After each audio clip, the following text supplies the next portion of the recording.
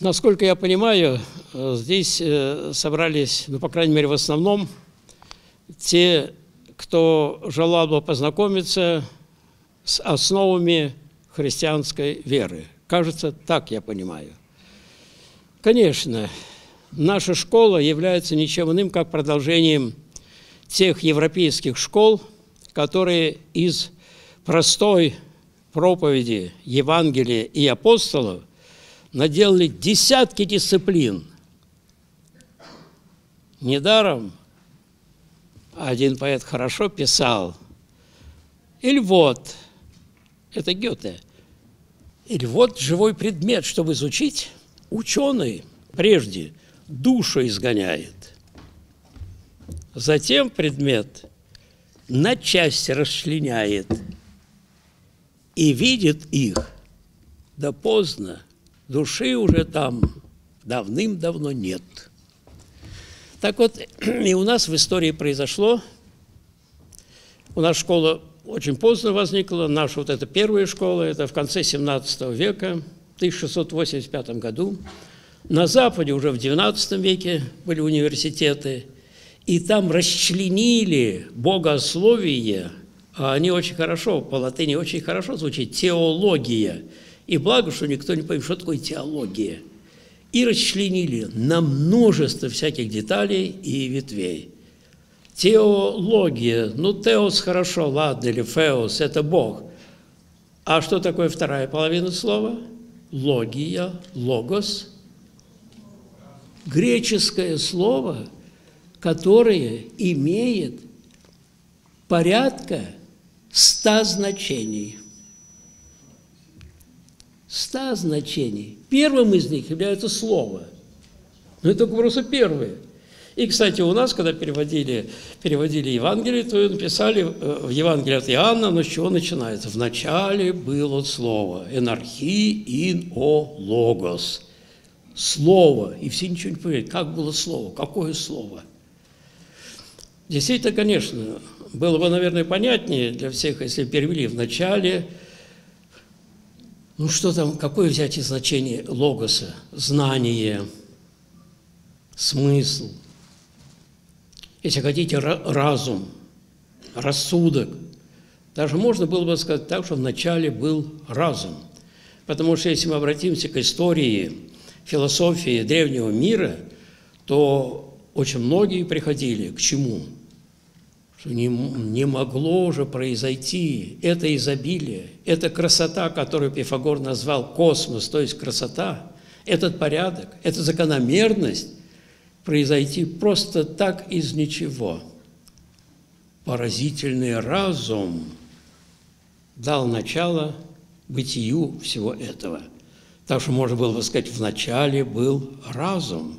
Это было бы тоже точно – но взяли просто первое значение. Вначале был логос, и никто не понимает. То есть, ну, все, кто не знаком, читают Евангелие от Иоанна, ничего не понимает.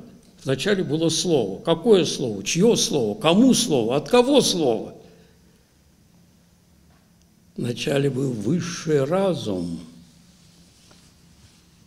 А дальше уже и объясняется, кто это такой, кто это за разум, который был в начале – будучи безначальным. Так вот, богословие, которое, которое все есть в Евангелии, и на основании которого затем стали строиться целый ряд всевозможных, всевозможных взглядов, разбили на десятки, наверное, не десятки, сотни различных направлений, и все они являются богословскими. В результате, вы знаете, с одной стороны, кажется хорошо, знать нужно.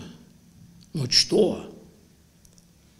Вы знаете, когда две дороги, ну, я или туда, или сюда, все понятно. А если сто дорог, куда идти, когда я заблудился? Не знаю, куда идти. Действительно, изумленные народы не знают, что начать. Вот такое дело случилось и с богословием – Действительно, или вот живой предмет, желая изучить, ученый прежде душу изгоняет, затем его на части расчленяет и смотрит их, да поздно. живая их связь исчезла, унеслась. К чему я говорю? Что очень часто, изучая вот эти все отдельные направления, очень часто человек теряет душу. То есть, знаете что?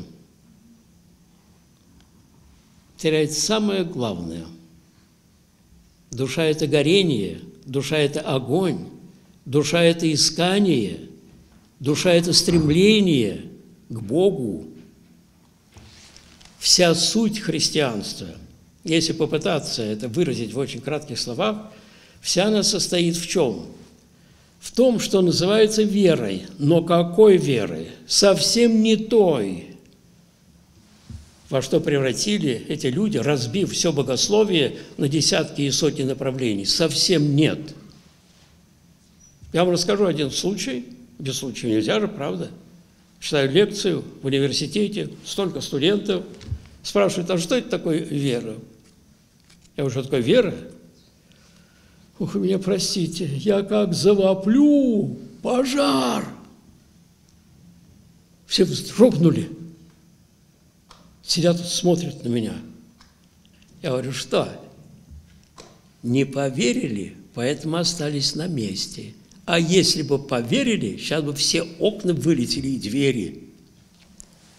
Вера – это жизнь, вера – это движение, а не представление умом. Кто-то там есть, какой-то бог. Где он? В созвездии Альфа Центавры, а может быть другой, в какой-то галактике живет. И все. Что это такое? Принципиальное различие. Вера в православие и вера, я бы сказал, прямо западной. Запад – это умопредставление на Западе о том, кто-то есть, какими свойствами обладает, что он сделал. Я здесь, а это он все сделал – что-то он послал, каких-то проповедников, что-то сказал, но я тут, а это он. Православие нет. Говорит, вера – это значит убеждение в том, что вот сейчас, вот здесь, вот теперь, вот оно есть. Представьте себе, если бы Христос вошел бы сюда, что бы мы сделали? Для того, кто бы поверил – кстати, приходится об этом напоминать не разу, не раз, сколько раз. Литургия идет. Идет пение «Тебе поем», «Тебе благословим», «Тебе благодарим» и молимся. В это время происходит приложение святых даров. Не хлеб и вино уже там на престоле, а Христос. И посмотришь, верующие люди стоят. Такие хорошие свечечки – что заплакать можно вместо земного поклона. Какая беда! Какое незнание или непонимание, просто даже и представить трудно. Уже и молимся, Боже наш. Христос это сейчас уже. Земной поклон нужен. И вдруг православные христиане стоят как столбики – Правда, потом пытаются возместить это, когда святая святым, и опять не понимая. Потому что святая святым – это голос предупреждения. Учтите, кто хочет сегодня приступить к причащению, святая – это святыня. Тем, кто очистился покаянием, учтите, учтите, святая только святым, иначе это огонь, который может попалить вас. Так вот, вера в православие – это не мертвое знание, или, как говорил Феофан Затворник, это не умовое знание, потому что умом я могу знать самые различные вещи, и прекрасные, и безобразные, и высокие, и самые мерзкие, да все что угодно. Нет, нет, не это вера. Если бы это была вера – тогда ни одного демона не осталось бы уже. А они говорят, что мы не только мы не веруем, а знаем, что есть Бог. И остаются бесами. Это очень важно понять. И я сейчас скажу, почему. Это очень важно. Западная вера – это умопредставление, еще раз повторяю. Это теоретическое знание. Это вера, которая подобна всем гуманитарным наукам, каким угодно. Она не изменяет жизни человеческой. Когда говорит, мы говорим православие вера, то мы говорим о чем? О самой жизни, движении. Пожар, надо бежать. Если вы знали, что на самом деле поверили в пожар, я потом студентам сказал об этом. Что, не поверили? То-то же. То-то же. Но зато вы теперь знаете, что такое вера. Так вот, эта вера, основанием которой является действительно Евангелие, прежде всего, конечно. Ветхий Завет – это только некая тень как пишет апостол Павел. Вы слышите? Некая тень. Вот. А истинное откровение вещей, сама реальность – это Новый Завет. Ибо во Христе произошло все исполнение всего того, о чем только предзнаменовали, о чем говорили, что предрекали, о чем пророчествовали. Это древние пророки и учителя. Только тень, а здесь сами вещи. Так вот, поскольку эта вера оказалась на Западе чисто рассудочной, то и произошло, что начали само богословие развивать на десятки и сотни ветвей. А душа осталась без искры Божией а веру, то есть жизнь, то есть жизнь потеряли. Вы знаете, что до какой степени даже дошло, дошло это влияние даже на нашу школу? В 1913 году скончался один из очень известных оптинских старцев в Росонофии. Он пережил революцию 1905 года – что это за революция, сейчас некогда говорить. Но что это такое было, это что ей предшествовало, что ее вызвало, что происходило с нашим народом, это, это тема чрезвычайно важная, но сейчас не до этого. Скажу только об одном. Этот, не, этот Варсонофий Оптинский писал, революция произошла из семинарии. Даже и произносить-то страшно. Как? Как? Убийство, насилие, кровь из семинарии? Это что-то совершенно не вяжется. Но это было закономерным следствием от того понимания богословия, того понимания веры, о котором мы говорим, вот это западный рационализм, бездушный, души не остается уже.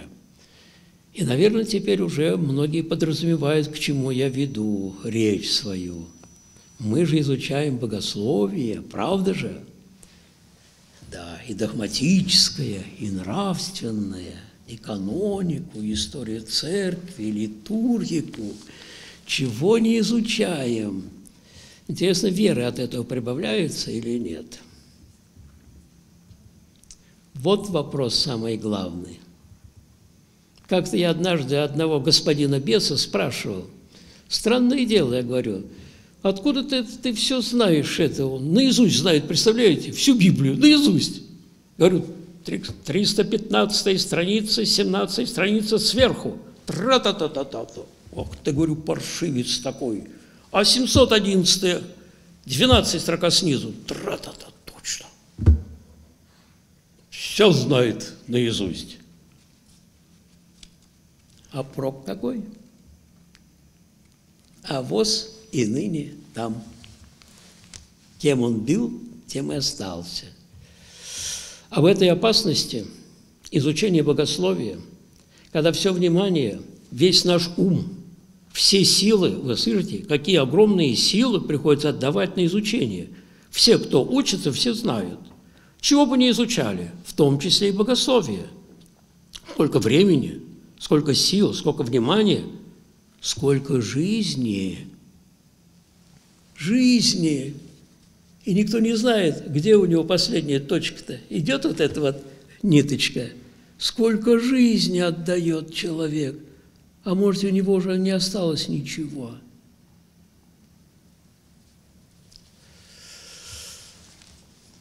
Поэтому и хочется говорить о чем. Что же такое христианство действительно? Это, конечно, не богословие.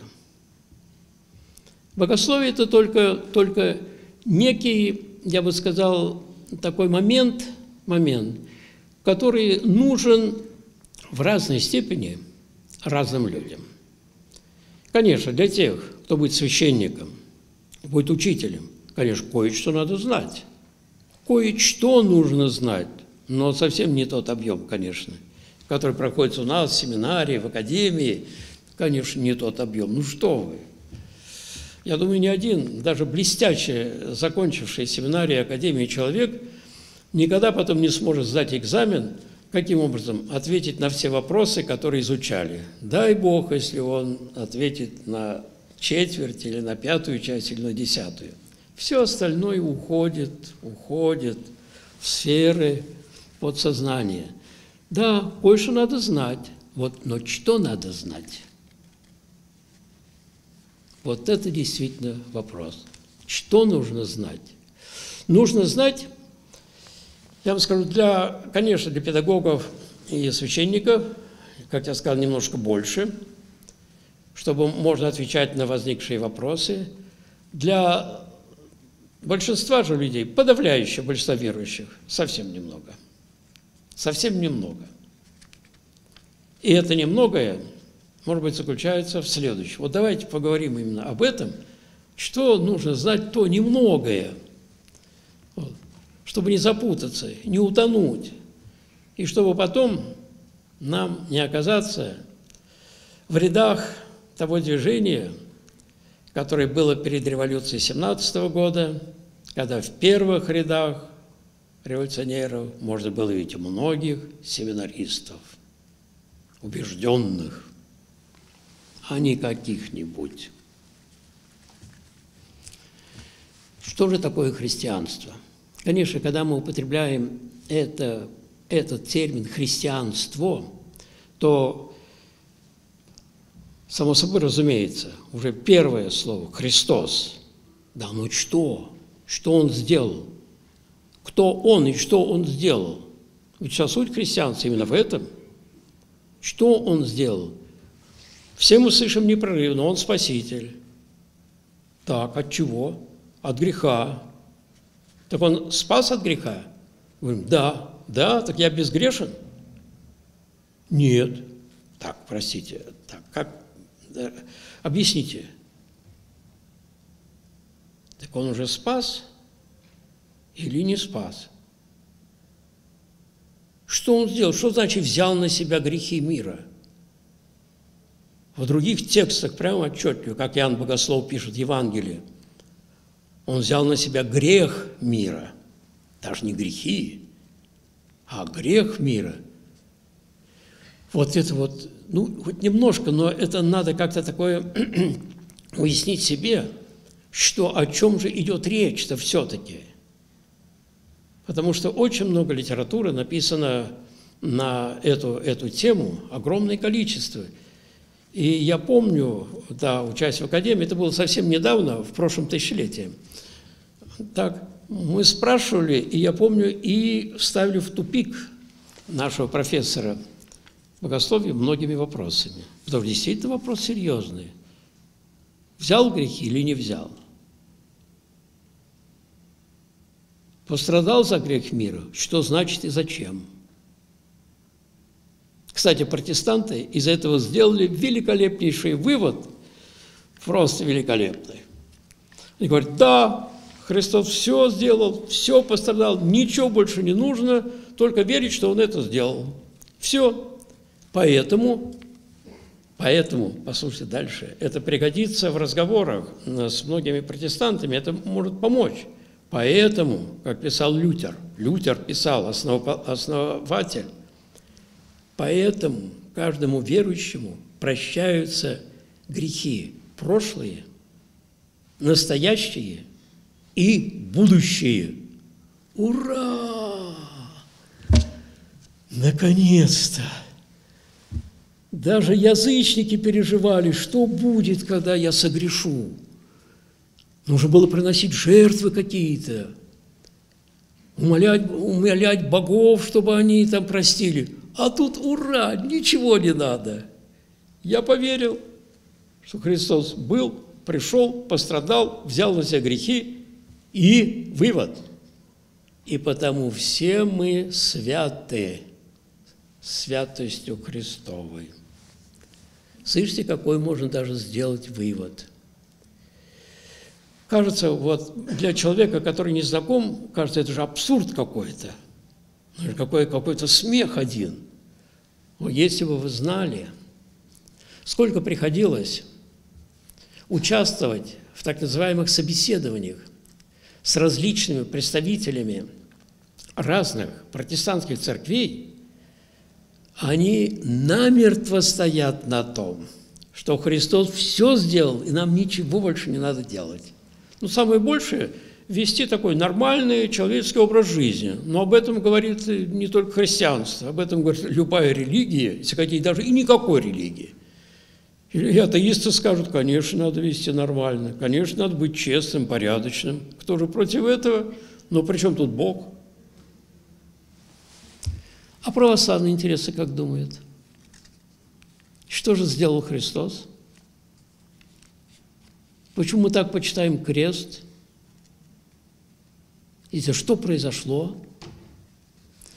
Вы знаете, вот этот вопрос, он, он конечно, требует ну вот, немножечко предварительного объяснения, объяснения, касающегося грехопадения человека, что произошло с, с человеком, с первым человеком, почему мы оказываемся вот в этой ситуации.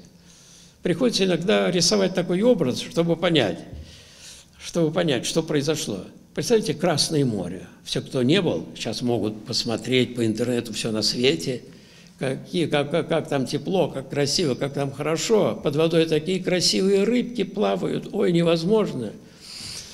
Да. Ну, ну, замечательно просто так. Водолаза спустили, к нему тянется шланг, который подает ему кислород, что он мог там спокойно плавать.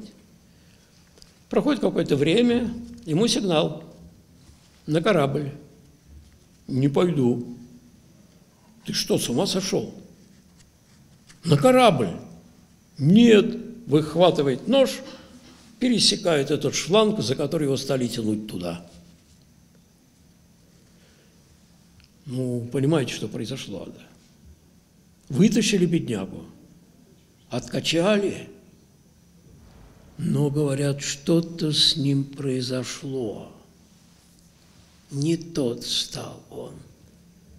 Что-то с психикой произошло, какие-то необратимые процессы. Это образ того, что произошло с первыми людьми. Помните это искушение – которое дано в Библии в образе змея, искусившего Еву. Что было? Человек был поставлен владыкой над всем сотворенным миром. И вот и пришло искушение. Какое? Да я же Бог в этом мире. Я Бог. Библии это сказано очень кратко. Змей говорит Еве, вкусите этого плода и будете как боги. То есть вы боги, то есть ты и, и, и, и Адам. Будете как боги. Слышите? Вот оно, какая дьявольская мысль пришла. И не удержались первые люди. И захватила их эта горделивая мысль, что они уже боги. Что произошло? Если мы, я, Бог, то мне уже никакого Бога не нужно. Обрываем этот шланг, провод, по которому по которому подавался воздух жизни. Бог ведь источник жизни, человек только творение. Бог, им мы живем и движемся, и существуем. Вне Бога невозможно же бытие. И вдруг первые люди, возмнив себя богами, разорвали эту связь. Вот что произошло. В результате, в результате, что с человеком случилось? Святые отцы по этому поводу очень много пишут, очень хорошо объясняют и говорят, человек из бессмертного стал смертным. Из неуязвимого, которого нельзя было, которому причинить какую-то болезнь или страдание, стал страстным, то есть страдательным – из неизменного состояния красоты и совершенства он стал тленным. Вот он необратимый процесс, который произошел с человеком. И, естественно, от этого, этого уже состояния болезненного и пошел род человеческий. Сразу отвечу на вопрос, зачем это? Причина очень была простая – мы все точно так же поступили бы. Посмотрите, что происходит подчас с человеком. Был нормальный человек, его повысили на одну ступеньку. Говорит, да что это, Степка-то, был человек, а стал скотина. Жил, получал такую зарплату и ничего. Потом вдруг привалило у него лимонов полно, и не узнать его. Вы посмотрите, до чего мы слабенькие. А если вдруг поставь нас царем мира, что будет? Кошмар. Вот почему. Почему все это по промыслу Божию, по предвидению Божию. Это совершилось, это грехопадение. Человек, не увидевший себя, кто он есть без Бога, обязательно возмнит себя Богом и погибнет. Вот почему произошло и грехопадение первых людей. Вот почему. И мы находимся в этом состоянии. Вот отсюда открывается и то, что необходимо нам для возвращения в то совершенное состояние, которое называется спасением, которое называется Царством Божиим, которое называется раем. Много всяких слов – но суть их вся одна и та же. Из вот этого состояния, в котором мы находимся, а в каком мы находимся, сейчас здоров, через минуту оказывается. Сейчас кажется все благополучно, через минуту несчастный. Знаете, ничего не знаем. Как в утренней молитве читается, мы живем как ночью, ничего не знаем что будет. Только гадаем, предполагаем, рассуждаем и больше ничего. Вот, оказывается, что произошло. Поэтому мы находимся в каком состоянии? Глубоко болезненном. Действительно, глубоко болезненном. Каждый, кто наблюдает за собой, скажет сколько раз, тысячу раз скажет, какой я дурак. Ну разве можно было так делать? Ну надо было не так делать. Ну, конечно, не так, но только уже поздно. Это только о разуме, а если уже поговорить о наших чувствах, то лучше и не касаться этого. Ой, Боже мой, тут перечислять даже не хочется. Какое тщеславие, какая неприязнь к людям, какая зависть, какая гордыня – какая неприязнь, чего только нет. Я очень хороший человек, но не троньте меня. Вот в каком мы состоянии находимся. Вот в каком. Зачем? Почему? Вы знаете, в том грехопадении, которое произошло в раю, человек не потерял свободы. Правда, конечно, у него помрачилось, но понимание добра и зла у него сохранилось, неважно на каком уровне. Но он знал, это добро, это зло. И свобода у него осталась. И он свободен, опять-таки, избирать, добро или зло. Но вот мы видим факт очевидный. Какой факт? Действительно, мы все, не знаю, минуту-то можем, так сказать, по Божьей провести или нет? Непрерывно не то. Вот в каком состоянии мы находимся. Может быть, кто-то скажет, а вот если я захочу, и я буду, все, нормальным человеком. Попробуйте. Попробуйте. И увидим. Самая элементарная вещь. Я больше никого не осуждаю. И вдруг мне звонок, что вот такой-то, секой-то, вот такой натворил. Я говорю, ах, негодяй. Я же сказал, никого осуждать не буду. Это самый элементарный пример. Да. Видите, насколько искажено, насколько мы больны душевно. Вместо любви – неприязнь. Вот, оказывается, в каком состоянии мы находимся. Поэтому возвратиться, оказывается, сами, вот сами исправиться и стать вот такими вот святыми не можем. Это каждый может попробовать. Но это-то не может одно, а другое, а смерть. Нет бессмертных. А старение, а тление. Я специально это говорю, чтобы объяснить, что же сделал Христос. Во что, во что мы, православные, верим, что Он сделал. Мы все чтим крест Христов.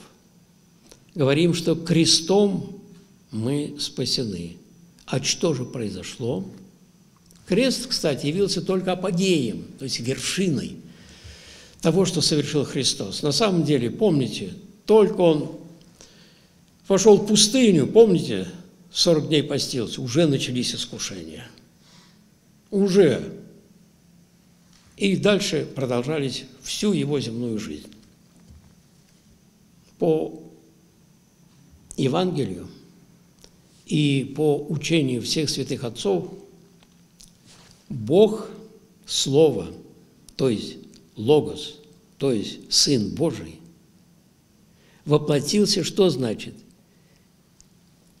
Не превратился в человека, как об этом говорят все языческие боги – а соединил с собой, с собой соединил вот нашу человеческую природу. Какую? Смертную, тленную и уязвимую, то есть болезненную. Посмотрите, как он страдал на кресте жестоко.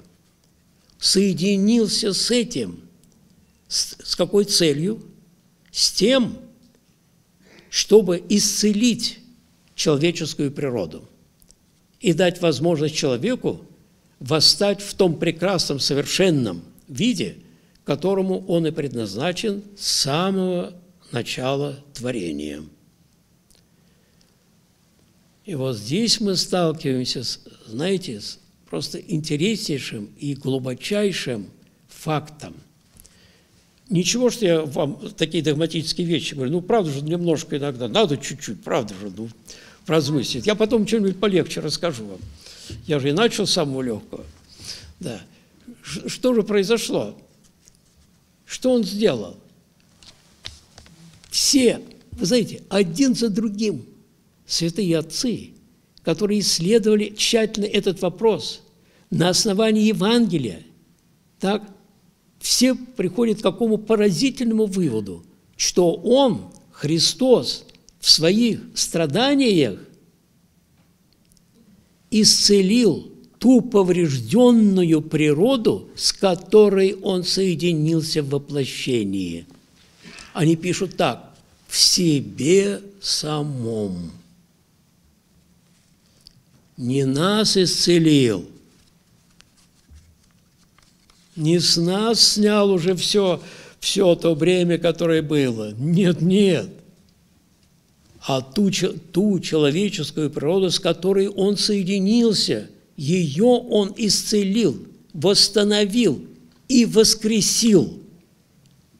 Обратите внимание, как изменился образ его, если хотите, поведения после воскресения по сравнению с тем, что было до этого.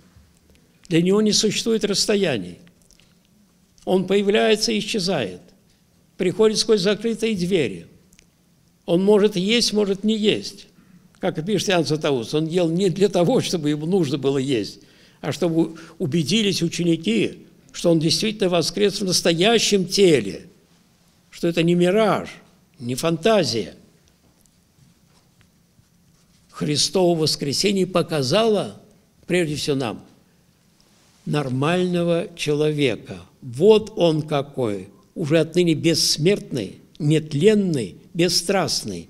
Но где это все произошло? В нем в самом. Возникает вопрос, а нам что от этого? Если он исцелил, исцелил ту природу, с которой он соединился, а нам что же? Нам что же? О, это самый, может быть, важный вопрос. Что нам? Вот мы рождаемся все, нас никто не спрашивает, ни папа, ни мама. Нет бы сначала спросили, хочешь ты, Лешенька, родиться или нет? Я им говорю, они говорят, а тебя не было, как мы тебя спросим? Нас никто не спрашивает. И рождаемся мы какими? Ну, от правца Адама. Как началось, так и рождаемся все такими же. Точно так же, как все твари земные. Ни свободы, ни воли, ничего. А здесь мы подходим к чрезвычайно важному, важному факту. Оказывается,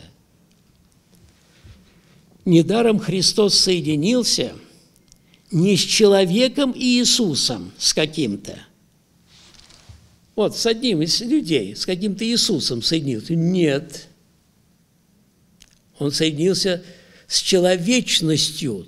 То есть, если хотите, вот с первочеловеком, не с Ем Адамом, а как бы вот первый, первый с человечностью, в котором все полностью есть. Ум, сердце, воля, чувство, все. Но это был не конкретный индивидуум, с которым соединился Христос, Бог, Слово.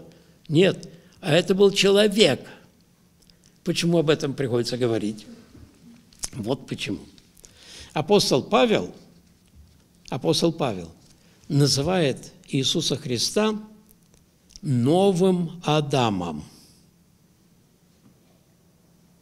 Это, я вам скажу, это настолько, настолько сильный, сильный термин, который дает нам понять всю суть возникшей проблемы – новый Адам, второй Адам. Оказывается, что же? Христос стал вторым Адамом. А мы разве происходим не от Адама? От Адама. Какого? Первого. Какими? Смертными. А оказывается, отныне можно родиться – но уже не пассивно, как мы рождаемся, а сознательно, свободно избирая добро, а не зло, свободно избирая истину, а не ложь, свободно избирая Бога, а не дьявола, оказывается, можем родиться, это духовное рождение, от Христа. Как? Цитирую вам одного из отцов – если ты уверуешь, тогда Бог Слово входит в крещенного, как в утробу Преснодевы, и пребывает в нем, как семя. Оказывается, в крещении, принимаемым человеком с верой, с верой, человек получает сознательно, еще раз, еще раз говорю, не автоматом, как это мы привыкли – Крещеный? Нет, да ты что, с ума сошел? Креститься надо. А что это такое? Так идем, тебе все скажем. Во что превращают? Сознательно человек, который действительно нашел истину, тогда в таинстве крещения человек получает вот это духовное семя новой человечности, вот этого второго Адама. Семечко только не превращает крещенного человека сразу в совершенного. Нет, получает только семя. Мы знаем, чем отличается яблоня от семечки яблони – Вы знаете, много отцов, это вообще, я вам скажу, это замечательно просто, так как много отцов об этом пишет, что в крещении человек получает семя, семя Христа, семя новой человечности, где? Внутрь. И от него уже зависит, от этого человека, даст он жизнь этому семени или нет. Будет ли он слезами покаяния омывать свои грехи или нет – Удобрит ли он почву своей души добрым, добрыми делами, исповеданием и э, деланием заповедей или нет? То есть жизнью правильной. От него это уже зависит, полностью от его сознания, его воли, его желания. В крещении человек получает плод вот того, что совершил Христос на кресте. То есть получает плод, семя той новой человечности, которой мы все должны стать. Все должны стать. Можно подумать, что ну, это как-то звучит ну, несколько формально.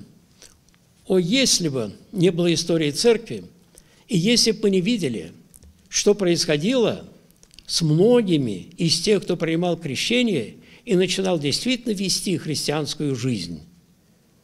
На примере великих святых мы видим, чего они достигали. Это потрясающих просто явлений.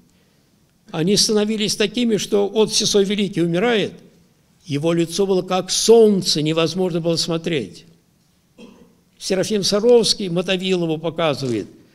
Мотовилов пишет, не, этой зимой всю, вдруг его лицо сияло, сверкало так, что невозможно было глядеть на человека. Мария Египетская спокойно переходит Иордан по воде. Многие из них не только. Они творят чудеса, они воскрешают мертвых, они буквально преображают тех людей, которые к ним обращались, обращались за помощью. Вот оказывается, каким образом, что сделал Господь. Я не объясняю там многих тонкостей, не хочу, чтобы не запутать. Я стараюсь как можно проще говорить об этом. Вот что произошло. Жертва Христова есть ничто иное, как жертва исцеления.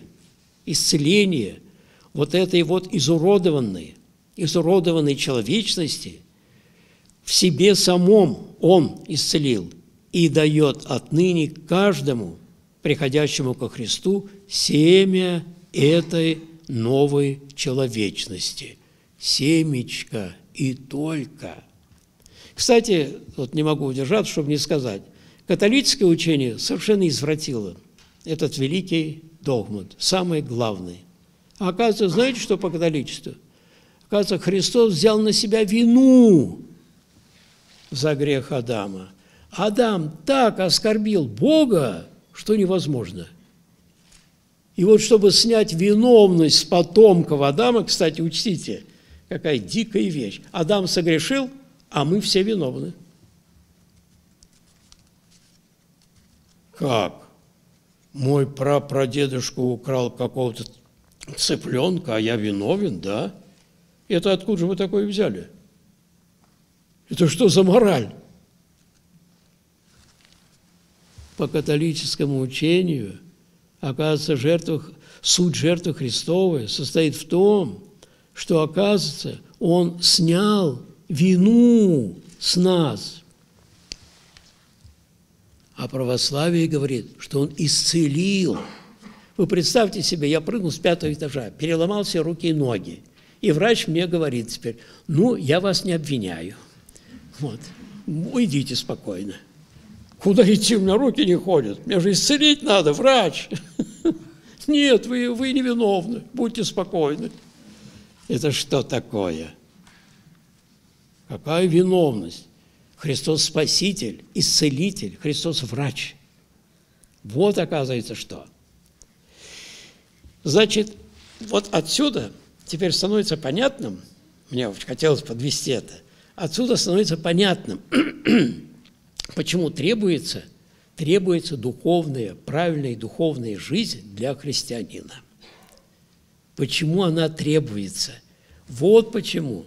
Когда пирамиды египетские открыли, нашли там, знаете, пшеницу. Три тысячи лет пролежала. Прок какой? Никакого.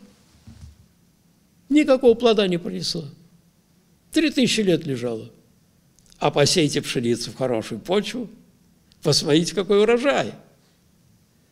Так вот и здесь тоже мы, получая в крещении, которое принимается с верою и благовением, принимая, мы тоже можем, можем постепенно преображаться. И я вам скажу, опыт личной жизни каждого искреннего христианина, который попытается жить по заповедям в покаянии, показывает, как, как, какие изменения происходят в его сознании, в его нравственной жизни, в его духовной жизни. Все это происходит. В чем же суть духовной жизни? А что нужно для этого? Вот это очень важно. Что действительно, что является самым главным в духовной жизни? Часто сводят нашу духовную жизнь к чисто внешнему исполнению известных нам церковных предписаний. Говорит, он воцерковленный человек, то есть он крестился, ходит в храм, исповедуется, причащается, ставит свечки, подает поминания, соблюдает посты. Хорошо? Хорошо. Это все? Избави Бог. Избави Бог. Самые злейшие фанатики, самые ужасные лжеправедники, самая тягчайшая бесовская прелесть, кого постигала, которые исполняли все внешнее – и забывали о главном, что человек спасается не вот этим внешним ритуалом, совсем нет, а спасается борьбой с теми гадостями, которые возникают в нашей душе. То есть жизнью по заповедям – а не просто исполнением вот этих церковных предписаний. Все эти предписания могут быть эффективными только в том случае, когда они помогают человеку самому главному. Чему же? А вот что самое главное, действительно. Вы знаете, как ни удивительно, но оказывается, самое трудное – это убедиться, что я грешный человек. Ну, я знаю, что у меня кое-что есть, ну, это кое-что, а сам я хороший. А сам я хороший. И не вздумайте меня тронуть. То есть, если вы тронете, вы тогда узнаете, какой я хороший, конечно, тут же. Оказывается, самое трудное – это действительно увидеть, что я действительно, оказывается, грешный человек. Тот, кто не увидел себя грешным, и тот, кто не убедился – что он, несмотря на все усилия, а они совершенно необходимы, никак не может, никак не может избежать этой греховности, тот никогда христианином не станет по очень простой причине. Да-да, он все верует, все знает и верует, да-да, верует. По какой причине? Христос не случайно называется Спасителем. А если я вижу себя хорошим – Разве мне Спаситель нужен? Ну скажите. Если я вижу себя здоровым, разве мне врач нужен какой-то? Да мне не нужен никакого врача. Чего ко мне пристали? Сами больны, ну идите и, лечитесь. Вот оказывается, в чем стержень, самая основа вот этого духовной жизни в человеке. В чем заключается? Действительно увидеть, что мне нужен Христос Спаситель. От чего? Не от бед жизненных, а от того, что я не могу не осуждать, не могу не злиться, не могу не завидовать, не могу не ненавидеть. Это вообще ужасные вещи, которые многие меня действительно просто не дают мне покоя. Терпеть не могу от того человека, ничего не могу сделать. Не сплю, страдаю, другим рассказываю. И опять страдаю. Вот человек, который увидит, что такое страсти, что страсти слова – это страдание – до тех пор, пока человек не увидит этого и не поймет, что он сам никак не может. Он не может обратиться к Христу и стать христианином. Христос нужен только тому, кто увидит, что он действительно страдает и ничего сделать не может. Как спаситель кому нужен? Погибающему. «Тону!» – кричит человек – руки разбойников, кричит человек, помогите. Вот кому нужен Христос. Вот кто становится христианином. А вовсе не потому. Крещеный? Ну да, крещеный. Блес Паскаль, всем вам известный, он написал, в древнем-то мире, в начале, в церкви, первые века, чтобы стать христианином, надо было доказать это своей жизнью – чтобы все говорили, да, вот это действительно человек порядочный, да, это действительно христианин. Тогда его допускали только к крещению, и он становился христианином. А теперь, говорит Блес Паскаль, а теперь вошел в церковь и даже не заметил. Каким был, таким и остался. Меня крестили, а что вы еще хотите? И я хожу по воскресеньям, ну, может быть, пореже. Хожу в храм и ставлю свечку, даю записку. Дам записку, пусть батюшки молятся, я пока на рынок скажу, пока время есть, пока записки читают. Прямо красота, да и только. Вот оказывается, оказывается, духовная жизнь человека, она имеет своим стержнем, своим самым центральным моментом.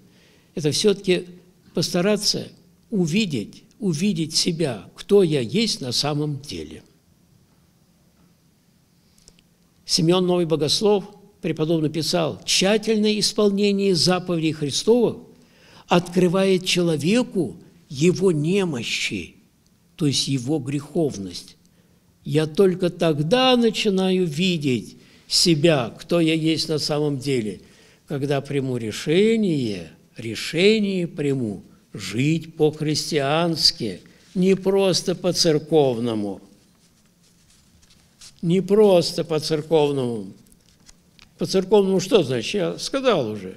Креститься, подходить на исповедь, причастился, поставил свечку и так далее. Это не так трудно все-таки сделать. А вот не осуждать, не завидовать, не злобиться, не обманывать, не лгать, не притворяться – вот где начинается христианская жизнь, а не свечку поставить. Не дай Бог, а через, через левое плечо, а тогда вообще кошмар, катастрофа. Вот оно, где начинается христианство. Вот оно, духовная жизнь. Жить, это называется жить по Христу, то есть быть подобными Ему. Жить по любви к человеку. Какому? Каждому. По любви это не значит, вы не подумайте, по любви, то есть влюбленности в каждого, ничего подобного. А относиться к каждому справедливо, честно, порядочно, по правде. Вот что значит. Это не, речь идет здесь не о чувстве, а о правильности отношения. Чувство – это совсем уже другая, другая ступень любви. Вот, оказывается, только тот человек, который принял решение, еще раз говорю, я не знаю, из миллионов православных, и говорят, их миллионов 250, может быть, 300, не знаю. Интересно, сколько человек найдется, которые приняли решение жить по-христиански, то есть жить по заповедям Христовым. Ой, как мало! Удовлетворяемся одной внешней церковностью. И только – и больше ничего. Вот в чем, если хотите, суть. Суть. Поэтому Исаак Сирин, например, в отношении вот такой внешней, кажется, порядочной жизни, но без исполнения заповедей, писал так. Воздаяние, то есть, то есть, если хотите, спасение, воздаяние, писал он, бывает. По сути, что дальше он говорит только. Воздаяние бывает не добродетели и не труду ради нее. Как это вам нравится? Это святой? Не добродетели и не труду, а рождающемуся от них смирению. И если не будет такового, напрасны все добродетели – и все труды. Невольно, когда читаешь эти слова Исаака Сирина, вспоминаешь это католическое учение о заслугах. Оказывается, христианин должен приобрести заслуги. Какие заслуги? Представьте себе, я чувствую, у меня есть заслуги – да, смирения много у меня будет. Исаак Сирин, святой VII века, прям провидел это. И уничтожающий критикой говорил, воздаяние бывает не добродетели самой по себе и не труду ради нее, а рождающемуся от них смирению. И не будет, если смирение, напрасны – все труды и все добродетели. Как это много значит, я вам скажу, мы иногда хотим откупиться от Бога. Чем? Добрыми делами. Ну, кто чем может, в зависимости от своего состояния. И думаем, добрые дела нужны? Да. Ради чего? Исполнение заповеди. Но вовсе не в качестве откупного материала – я дал нищему рубь. Господи, лимончик мне подавай-ка, жду. Давай-ка, я рубь подал нищему. Слышите, ни о каких заслугах речь даже не может быть. Это прям сатанинская идея. Что вы? Тот, кто не увидит, что он фактически не, могут, не может шагу шагнуть без того, чтобы не осудить, не слукавить, не притвориться, не обмануть, и чего только не сделать, тот, кто не увидит этого, он не христианин, его нечего спасать. Это что за язычество такое? Это языческим богам только можно было приносить жертвы, и тогда ты ему угождал. Христос – Спаситель от скверн души. Вот, оказывается, блаженно чистые сердцем, ибо они Бога узрят. Сердцем, а не ногами – и руками. Так вот, это вот кратенько мне хотелось сказать сегодня о том, кто же такой Христос, что Он сделал. Вот в чем суть Его жертвы. Он исцелил, исцелил в себе самом нашу человечность и дал нам возможность родиться от Него, родиться сознательно, а не так, как мы рождаемся бессознательно родиться от Него и быть Его чадами, чадами. Какими? Такими, каков Он. А Он сказал, научитесь от Меня, ибо я кроток и смирен сердцем. Вот наше понимание самой сути христианства. Ну хорошо, спасибо, а то я боюсь, не оставлю вам время на, на вопросы. Вот. Пожалуйста, если что-то непонятно, но я надеюсь, что все понятно, и вопросов не должно быть. Если они будут, я буду очень огорчен, конечно, да, если они будут. Алексей Ильич, что важнее, бороться со страстями в себе или воспитывать в себе добродетели? Какие, на ваш взгляд, начальные добродетели? И какая добродетель от какой рождается?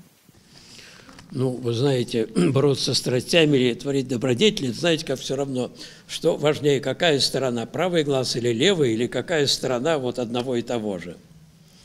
Только борясь со страстями, я и воспитываю в себе добродетели. И наоборот, понуждаю себя к добродетели, а тем самым противостою страстям. Это же само собой разумеется. Поэтому никакого противопоставления здесь не может быть. А какое самое главное из добродетелей? Ну, если я вам скажу, какая самая главная, это, пожалуй, будет неверно. Знаете, вот почему.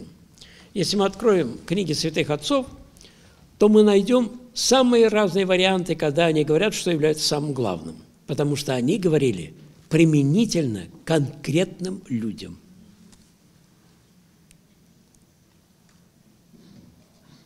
Конкретным людям.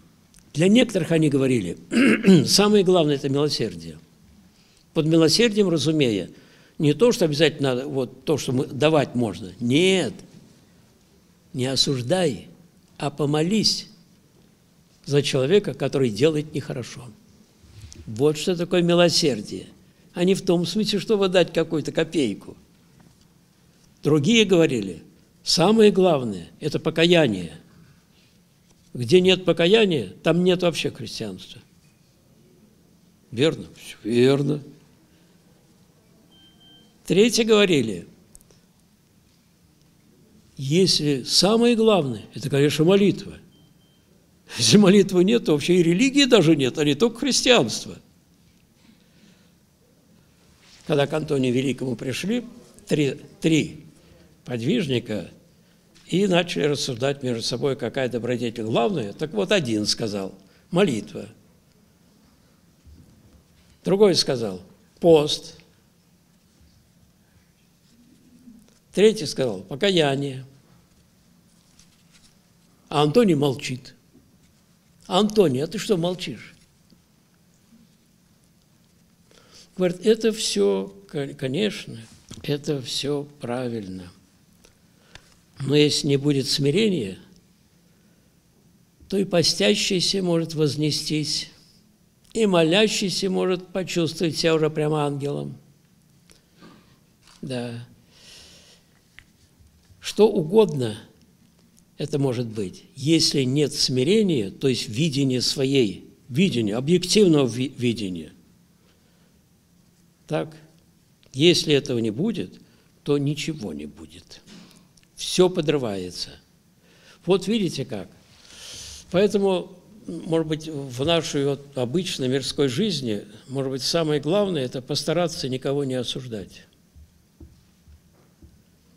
Тоже вспоминая, а я что, а я кто? Вы знаете, я удивился. Оказывается, пьяницы друг друга не осуждают за пьянство. Вы вы слыхали такое? О, достигли. Если бы только мы видели себя грешными, у нас бы тут же рот на замок бы закрылся осуждать кого-нибудь. Я кого осуждаю? Того, о котором я тем самым говорю, я бы такого не сделал. Слышь, до чего я хорош? А он, негодяй, негодяйка. Такие, сякие, немазные. А вот я-то, слышите, осуждение – это признак гордыни, признак слепоты, полной слепоты, полной невидения себя, кто есть я на самом деле. Поэтому – вот самое главное, нужно помнить именно это, что пьяницы друг друга не осуждают за пьянство. Если это запомним, все будет прекрасно. Алексей Ильич, какие признаки святости в духовно-нравственном поведении человека?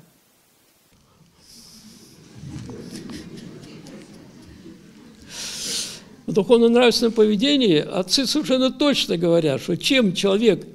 О, я отвечу не от святых отцов, от Паскаля. Вам понравился же Паскаль, правда же? Вот он, Блес Паскаль, Паскаль говорит, есть только два рода людей по существу. Одни из них – это праведники, которые видят себя грешниками, и грешники, которые видят себя праведниками. Вот, пожалуйста, вам ответ. Правда же? Вот так как раз. Грешник всегда видит себя, я, ну, я все-таки ничего. Как в притче, помните о мытаре фарисея, «Я не таков, как прочие человецы». Вот оно, самое страшное, конечно. Вот так. Я думаю, что если с Блезом Паскалем мы все знакомы, все гоняли с ним чаи в школе, так что я думаю, запомнить его это выражение стоит. Два всего, две категории людей. Праведники, которые видят себя грешниками. Вы знаете, что Макарий Великий, утренняя молитва? Макарий Великий – это тот подвижник, которого называли земным Богом. Утренняя молитва такая, Боже, очисти меня грешного. Яку, то есть, так, Яку николи же, никогда же сотворил благое пред тобою. Вот праведник, вот праведник. А я кое-что добренько делал, и вы не думайте. Это Макарий Великий, он ничего не делал. А я-то делаю, конечно. Да. Как избавиться от греха помятозлобия и зложелательства? Ну, да. Вы знаете, мы иногда сразу говорим, как поднять 100 килограмм одной рукой. А ему говорят, голубчик, ты попробуй, начни с 10 хоть килограмм-то. Спросите у спортсменов. Кстати, спортсмен по-гречески, вы знаете, что, что такое а, аскетика? Аскетика в переводе с греческого языка, я бы сказал, ну, спорт. Аскет – спортсмен. Аскеты – спортсмены. Только спортсмены какие? Не тело, а души. И вот посмотрите, как спортсмены. Что, они сразу начинают поднимать штангу 200 килограмм, кто хочет? Ничего подобного. Так и здесь. Только постепенное наблюдение за собой – наблюдение за собой. Начиная, знаете, с чего? Ой, это очень важно. С того, на что мы не обращаем никакого внимания абсолютно. Начиная с мыслей. Вот откуда все рождается. С мыслей. Если я не борюсь с мыслями осуждения, неприязни, злобы, тщеславия – никогда я не смогу ничего победить в себя. Мысли, вот, вот откуда нужно начинать. С этого. С этого нужно начинать. И всячески избегать, избегать, так сказать, знаете, как вот Великим постом поется «Блажен, и же имет и разбиет младенцы твоя камень». Младенец, то есть тот, кто только что рождается. Вот мысль появилась, осуждение. Нужно сразу не дать развиваться. Это легче сделать, чем когда уже схватит тебя, когда птичка коготком увязла, все, вся попалась. Борьба с мыслями. Это чрезвычайно, так сказать, важный, важный момент. И второе, конечно, надо приучать себя хоть немножко начать приучать себя к молитве. Вы подумаете, что я говорю об утренних вечерних молитвах, да? Нет, нет, нет, я не об этом говорю. Это само собой разумеется, это положено. Вы знаете, что такое положено? Вот так, это положено. Я не об этом поэтому говорю. Кто мешает нам? Хоть один раз в час, ну хоть в два часа, ну хоть в три часа один раз – от всей души сказать, Господи Иисусе Христе, помилуй меня. Чем чаще, тем лучше. Тот, кто становился на этот путь, потом, не знаю, они были преисполнены благодарности. На моих глазах произошел случай. ну, может, вот вы знаете, Гумен Никон Воробьев, к нему на моих глазах пришла одна женщина из деревни и говорит, я пришла к вам, я не могу, у меня уныние страшное. Нет, в общем-то, с кем поговорить, с кем пообщаться, я одна, что мне делать? И он ей говорит, ты знаешь что, постарайся, вот так постарайся, как можно чаще. И вот это сказал молитву Иисуса, Господи Иисусе Христе, Сыне Божий, помилуй меня грешную. Как можно чаще, говорит, запомнила? Ну-ка повтори. Она повторила. Еще раз, правильно. Так, запомни, как можно чаще говори. Вы знаете, вот так Бог вот устроил, что примерно через год я опять присутствовал, она пришла, упала в ноги и благодарила. «Батюшка, так мне теперь никого не надо. У меня такая радость на душе, мне такое благо, у меня прям рай в душе». Она приняла. И я так подумал. Она – это почти неграмотный человек, деревенский, а мы тут стоим, образованные, и ничего не делаем. Поэтому второе, что необходимо, надо начать учиться молиться. Не вычитывать, а учиться молиться. Главное в молитве – это что такое? Покаяние и внимание. Внимание. Без внимания молитвы нет. Нельзя молиться на воздух.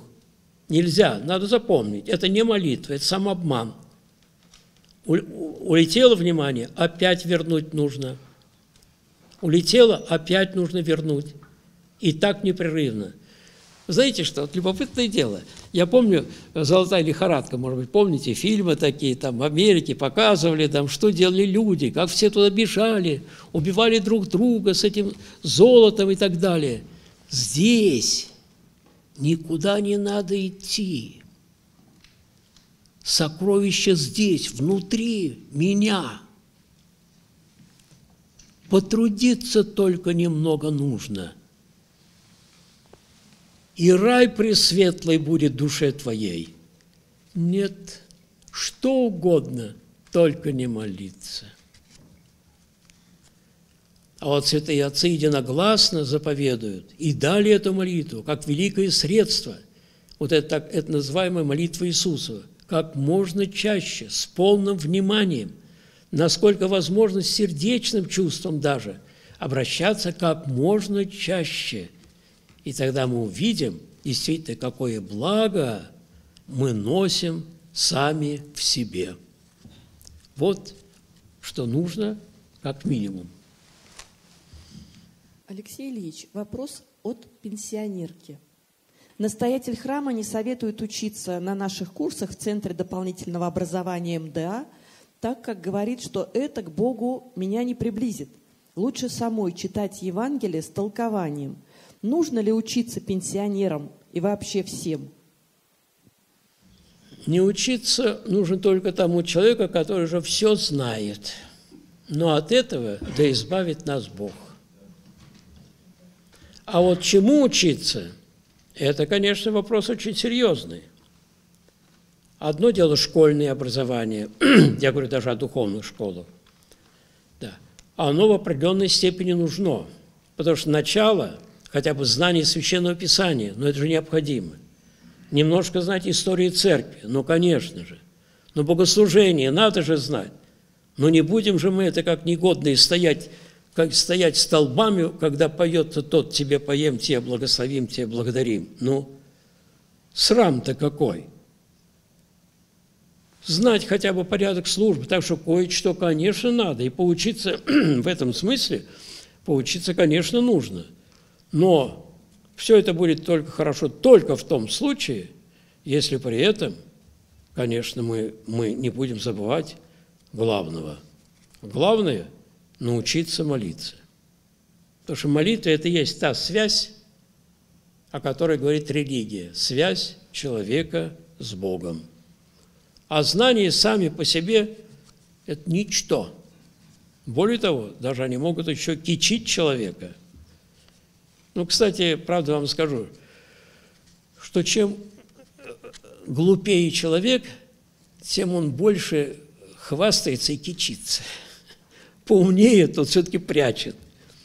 Потому что прекрасно понимает, что все наши знания, любые какие угодно, это капля в океане воды.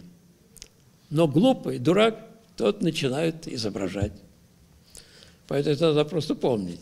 Так что кое-что, конечно, нужно знать. Во всем нужна мера. Ну, нельзя же так, это категорически или-или. Поэтому, если есть такое, такая возможность поучиться, ну что же, хорошо, хорошо поучиться. Но не забывать нужно молиться. Хотелось бы узнать о трактовке понятия прелести в католической церкви. Да, это вы очень хороший э, задали вопрос. Католицизм, он, он весь, весь воспринимает религию вот этим внешним образом. Как писал Хомяков, Алексей Степанович Хомяков. Он, у него замечательные, кстати, его письма о западных вероисповеданиях. Если кто-то хочет вот увидеть суть, суть э, западного христианства, католичества, протестантизма, найдите, почитайте это Хомякова Алексея Степановича «Письма о западных исповеданиях». Это не так много, но очень интересно. Он там хорошо говорит, дебет и кредит. Я, Господи, тебе, ты, Господи, мне. Вот. Ну, как я уже это уже говорил. Да, я подал, помог этому человеку, ты, Господи, должен, должен что-то соответственно сделать мне. То есть смотрит на это как на заслуги. Но насчет прелести э, в католицизме, самое большее, что они могут сказать, это когда человек открыто начинает хвастаться – то есть ну, уже открыто, но которого мы назовем хвостуном там, и прочие вещи. Это, к сожалению, только это, потому что на самом деле их подвижники находятся в жестокой прелести. Вы знаете, это вот вы знаете, вот богословы, вот сейчас вот, если сели в богослов, то начали, нет, да вот то-то, что-то.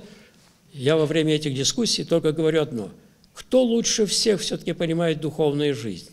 святой человек или мы грешные, хотя бы были профессорами? Ну, конечно, святые. Так вы посмотрите, что пишут святые о католической духовной жизни.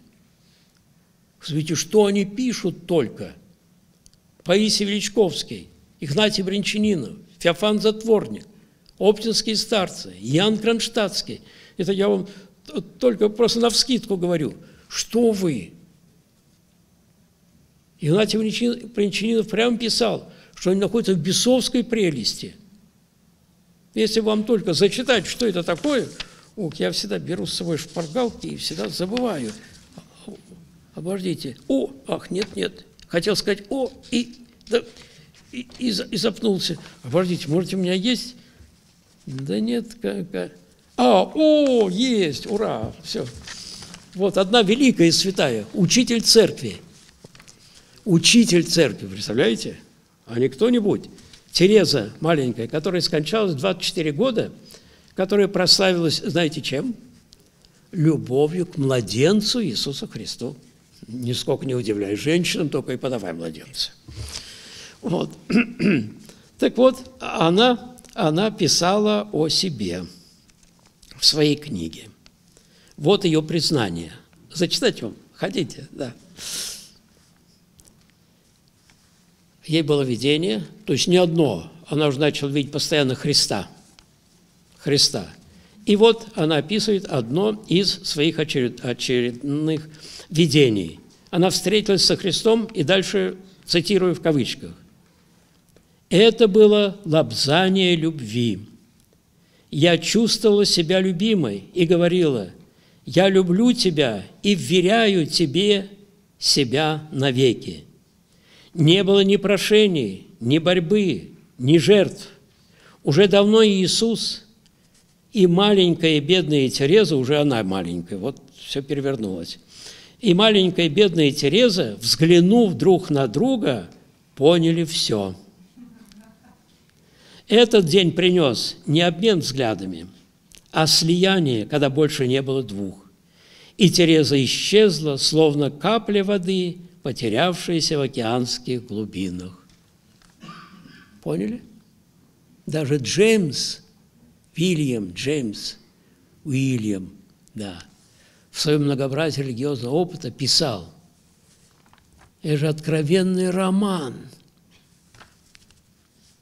Только вместо мужчины здесь реального был вот тот, который представал, представал перед ней в образах уже мысленных, видениях и так далее. Вот что происходит.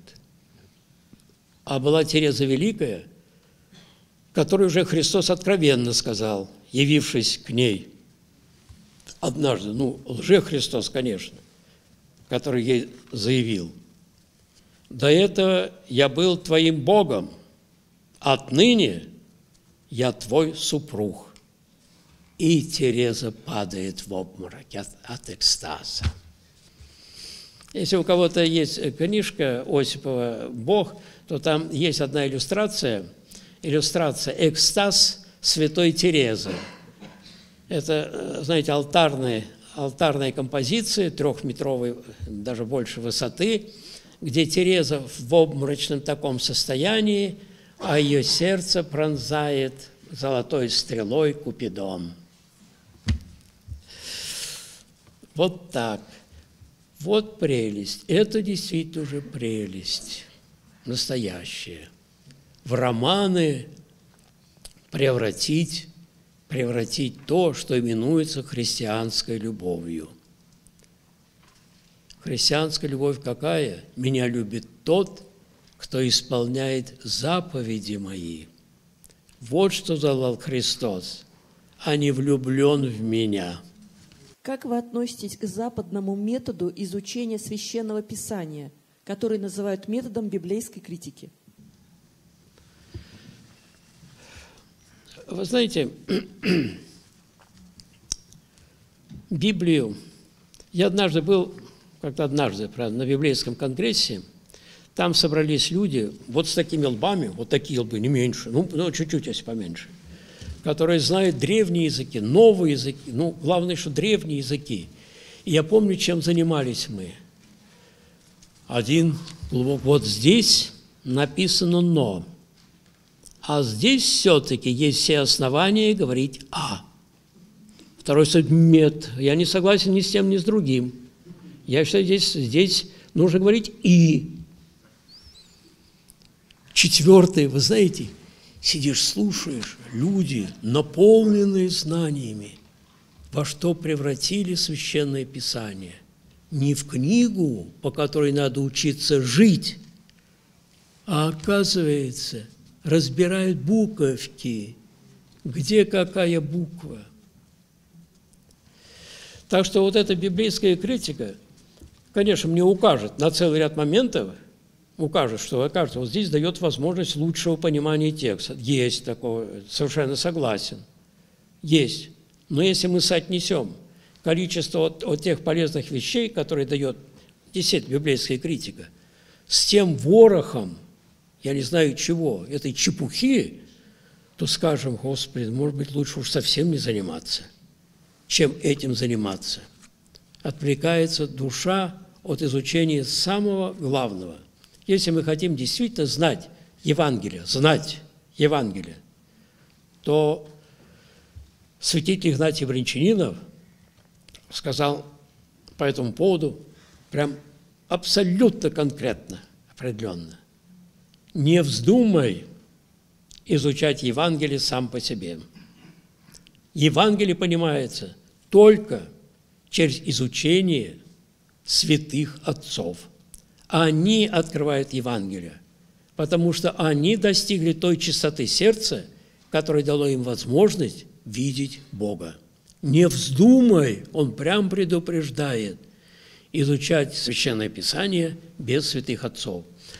Кстати, вы знаете, в наших деревнях еще до революции, когда видели мужичка, у которого, как сейчас очень грубо говорят, крыша поехала – ну, правда, не грубо же, нехорошо. Говорили, зачитался Библией.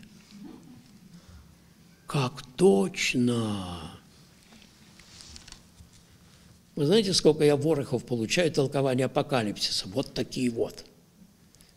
Ну, хорошо, у меня есть печка, вы знаете ли, вот. Все, да, вот так. И толкуют, и толкуют, и толкуют. Боже мой, чем мы занимаемся, голубчик? Ты хоть бы научился не осуждать, не празднословить. Все, все только знаем. Как понять этого? Как понять того ангела? Что это за труба? Что это за шестерки? И начинается, Боже мой, не живем. Как правильно сказал поэт, о жизни мудрствуют, а жизнью не живут. Ой, как точно. Так и есть. Поэтому библейская критика – это, конечно, ну, как вам сказать, так сказать, тут здесь есть эти два момента. Кое-какие есть действительно моменты, которые дают, проясняют кое- кое-что. Кое-что действительно проясняют. Вот талант. Что такое талант? Все думают способности. А библейская критика говорит, нет, талант – это мера веса. Это мера веса. Это 26 килограмм серебра. Или 49 килограмм золота. Ну, видите? Ну, хотя бы такое простое, правда же? Самое простое – вот, о, это уже интересно. Отсюда проистекает уже и другое понимание тех вещей, которых, которых мы читаем. Да. Так что есть, есть такие вещи, но в основном библейская критика вся, вся вот углубилась в, эти, в, эти, в эту мелочь, которая ничего не дает ни уму, ни, ни сердцу. Это мое, мое мнение, но предупреждаю вас – 90% моих коллег со мной не согласятся. Так что можете быть спокойны и заниматься библейской критикой. Алексей Ильич, где граница между смирением и слабохарактерностью, послушанием и человекоугодием? Но дело в том, что э, тут о границах даже и говорить не приходится, потому что это просто совсем разные вещи. Это все равно, что, знаете, как у нас говорят – в огороде Бузина, а в Киеве дядька. Какой, где тут граница между Бузиной в огороде и, и дядькой в Киеве? Смирение – это что такое? Это то чувство человека, чувство, переживание, которое, которое возникает из видения своей греховности, греховности и невозможности самому исцелить свои страсти. Вот я удерживаюсь, чтобы не осуждать. Только хотел на замок, только хотел, держусь. Где-то прорвалось, где-то держусь. А страсть осуждения не могу изгнать. Не забывайте, одно дело грех, как факт, а другое дело страсть, как болезнь, которая прет из меня. Вот так и здесь. Смирение – это то состояние, которое приходит человеку, при опыте правильной духовной жизни, опыте чего? Борьбы, борьбы со своими страстями.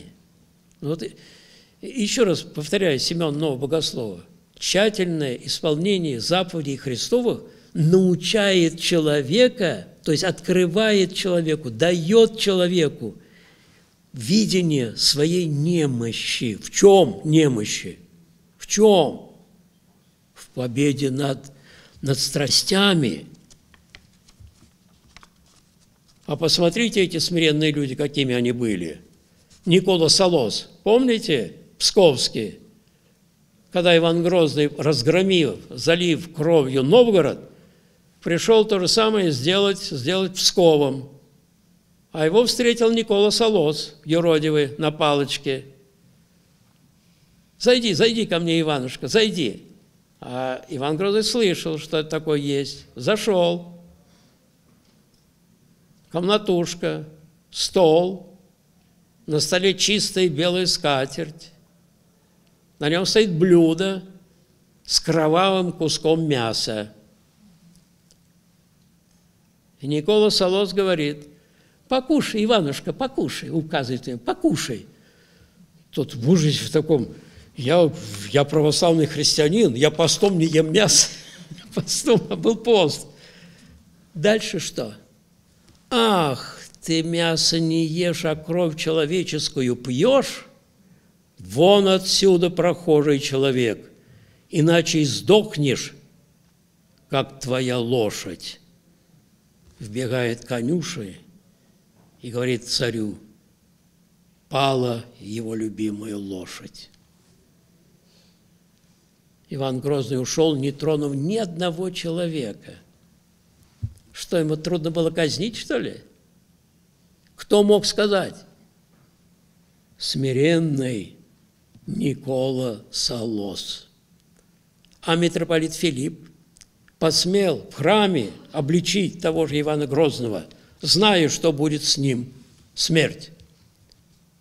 Обличил. Это кто? Святые люди. Какие? Смиренные. Смирение – это сила, а не слабость. Что вы? Только смиренные могли это сделать а вовсе не те, которые гордые своей силой, которые лезут на рожон. Смирение – это видение своей греховности, неспособности исправиться действительно своими страстями.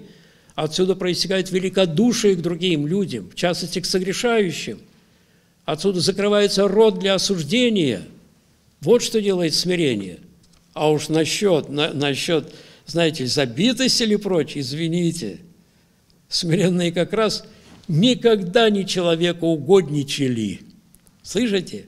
Они не человекоугодничали и часто попадались под гнев великих мира сего, потому что не льстили.